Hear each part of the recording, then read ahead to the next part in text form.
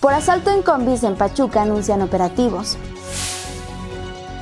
Las Secretarías de Movilidad y la de Seguridad Pública de Hidalgo anunciaron operativos coordinados de supervisión de unidades luego de que entre el 26 de septiembre y 1 de octubre se registraron tres asaltos a colectivas de Pachuca.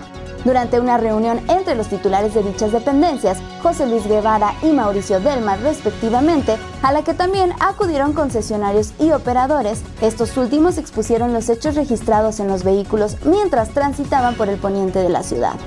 Por su parte, los funcionarios reconocieron que es importante investigar los casos para prevenir actividades que afecten la tranquilidad de los usuarios.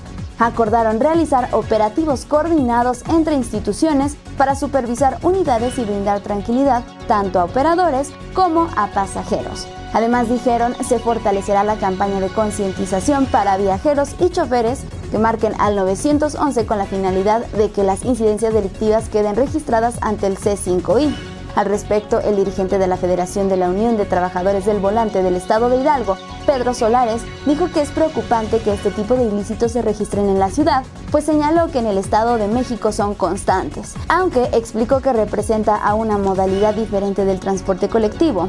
Mencionó que durante el sexenio del exgobernador Miguel Osorio Chong, la federación presentó un proyecto que proponía implementar un piloto virtual con la finalidad de colocar en cada unidad una cámara de video para inhibir la comisión de delitos.